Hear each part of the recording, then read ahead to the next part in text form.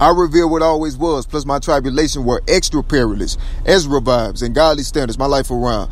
My faith remained. Persecutors copy my actions closely, like everything, and then try to subtract me and disinvent me with structure help. And that ain't fair. My substance sufficient. I'm Dexter Ray. I'm artist, authors for the kingdom, though. Poetry Corner, 62520.